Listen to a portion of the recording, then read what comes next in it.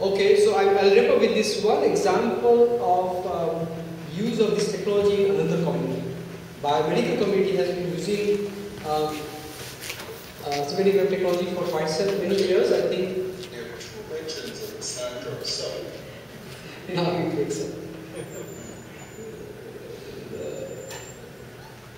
Let's forget what it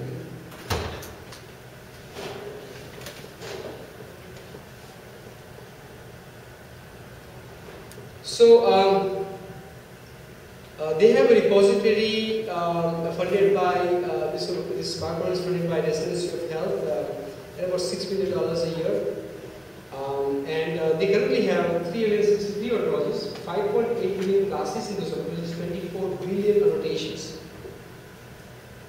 Now it is true that in biomedicine, where a lot of projects are funded by uh, government, by NIH, that uh, much more data is public compared to this uh, thing.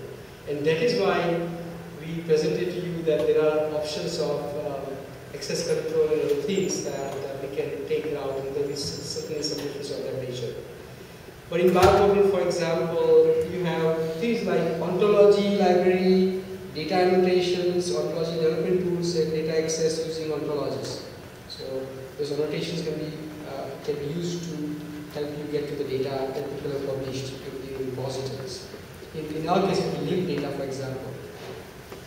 And here, for example, uh, Kino is one of the tools listed because in Uruguay I told you Kino was tied to uh, ontology and uh, can use that for things. So it is one of the options that is available through uh, But this is a heavily used uh, resource in that uh, community. Uh, we've been part of that. Uh, uh, so my NIH R01 was in collaboration with NCBO and um, uh, the, you know, uh, I think that this community, if there is a commitment, can also get along with that level. There are a lot of success stories there and I'll be happy to point you to those reasons also.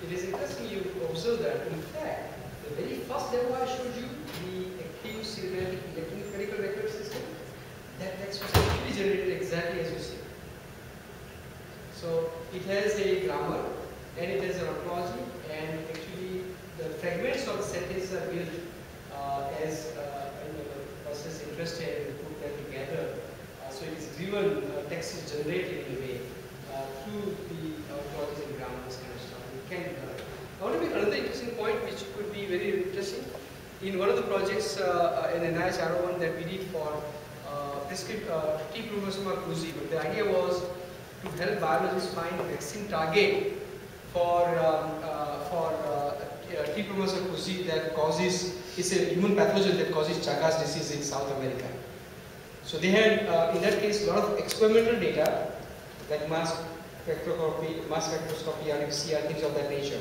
Just like you have uh, experimental data from one of your simulation tools or other, you know, uh, evaluations and such, experiments. Uh, uh. then they had a lot of curated data in relational databases, and they, they had a lot of um, uh, textual data, publications, is all PubMed and their own libraries and so on. So we also, um, this semantic framework can also be very useful in tying all that together. Suppose you, are, you, did, you did a, an experimental run of some kind and you found some uh, interesting data, some things, you know, results into something else. Then you want to ask, is there any data of this kind in any of these relational database repository or is there any published literature that has the same kind?